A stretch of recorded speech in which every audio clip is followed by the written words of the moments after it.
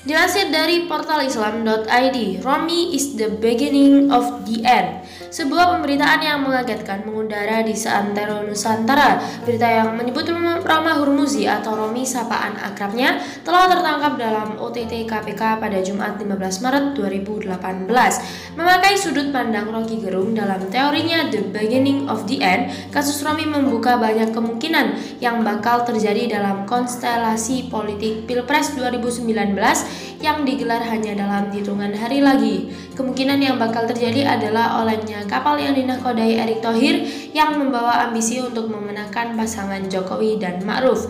Paling tidak ada empat poin kemungkinan yang bakal terjadi jika Romi benar-benar melakukan tindakan korupsi, yaitu satu kemungkinan Romi akan dicap sebagai seorang koruptor. Dua, kemungkinan Romi akan mengundurkan diri atau dipecat dari posisinya sebagai Ketua Umum Partai P3. Tiga, kemungkinan elektabilitas partai akan menurun dan ini sangat membahayakan posisinya untuk bisa lolos dalam parliamentary threshold 4%.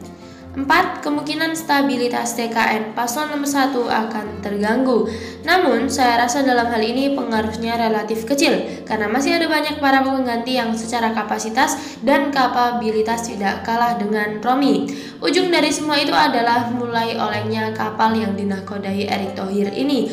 Dan ketika kapal ini masih saja dipaksakan untuk terus berlayar, maka istilah yang paling tepat dalam situasi ini adalah the beginning of the end atau awal dari sebuah akhir. Apa itu? Karamnya kapal.